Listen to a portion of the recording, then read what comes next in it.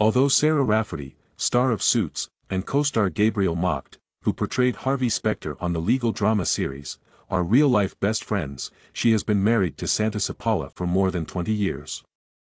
When it comes to their private life, the two are quite discreet.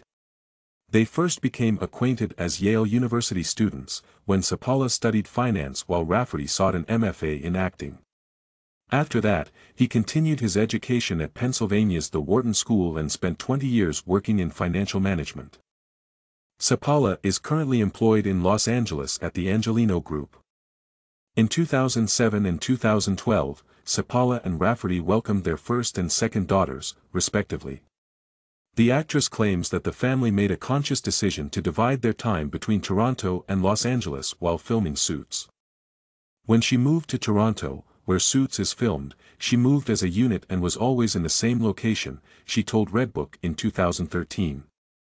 What's really important for us is that our home base is in LA. I was concerned about my five-year-old's attendance at two schools, but it turned out to be an incredible experience that helped her develop her self-esteem. She rejoices over it. Rafferty gave her husband credit for making their family work in the same interview. I have an amazing spouse, we're a team, she remarked. We kind of dance with each other while we work so that we can be there for our children. He works and I work. However, I believe that the entire concept of balance is false, instead, we simply accept the imbalance. Here is all the information you need to know about Santtu Seppälä, Rafferty's life companion.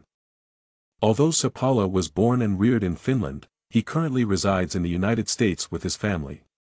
He holds dual citizenship with the United States and Finland, and according to his profile at Angeleno Group, he has resided in Sweden, Denmark, France, and Germany. When Seppälä, the eventual star of Suits, was an MFA acting student at Yale University, she first made the acquaintance of Rafferty. After dating for a number of years, they tied the knot in June 2001. Seppälä was an Ivy League champion and a member of the Yale varsity tennis team.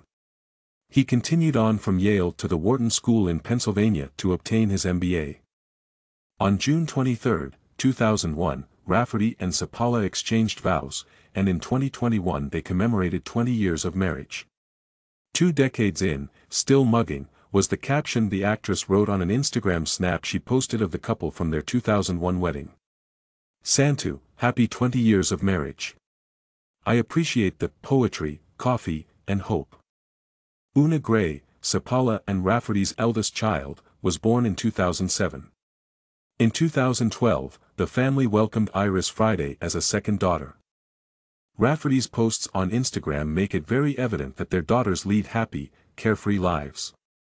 She posted a cute picture of her daughter with butterfly wings in 2022 to commemorate Una's birthday, along with a poem by John O'Donohue in the caption. In closing, Rafferty wrote, I am incredibly, unbelievably thankful for you, Una. Many happy returns on your birthday. Dedicated to Mamarazzi, love. Rafferty posted more family portraits to Instagram in January 2023, this time to commemorate Iris' birthday. She mentioned in a comment that the images were put together by a fan account on Instagram, saying, Thanks for making this walk down memory lane at Sarah Raffer I'll tell the birthday girl I made it when I show her. The actress shared a video of herself and Iris creating a fairy palace in August 2023. She wrote, Meet us at the Mojo Dojo Fairy House, bring all your magic, a reference to Barbie. With love, Sarah, Iris, and Seppälä's career and his wife's are very different. The Suits actress has been successful in show business for many years, but her spouse works for the Angeleno Group as Vice President of Strategy and Business Development. He worked in investment management for 20 years before to joining the company in 2021. During those two decades, he held positions as a portfolio manager at Cantillon Capital Management in New York and as the founder and chief investment officer of Kitos Capital Management. He started his career as an investment banker at Salomon Brothers. Rafferty's Instagram feed makes it evident that she and Seppälä like taking trips together.